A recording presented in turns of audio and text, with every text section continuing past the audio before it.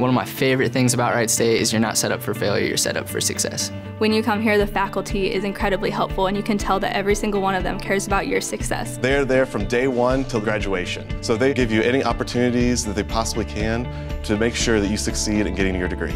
We're very fortunate at Wright State University to have a brand new Student Success Center. It's designed for active learning and student engagement. The three different centers that we offer in this building are the Math Learning Center, the University Writing Center, and then tutoring.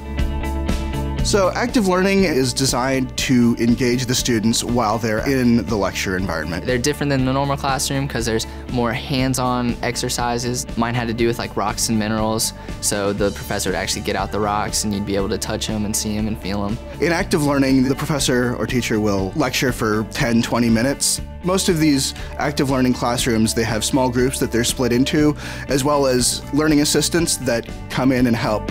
For the first year advisors at Wright State, they definitely help you with picking your classes and deciding what you want to take and try and um, make your first year the best year you can make it. Wright State has a lot of different programs that are aimed at helping students succeed. The campus itself really facilitates active learning and helping students get what they need. The library is a tremendous resource for students that are doing research. A lot of the faculty are very well versed in up and coming educational methods and what sort of stuff is helpful for students.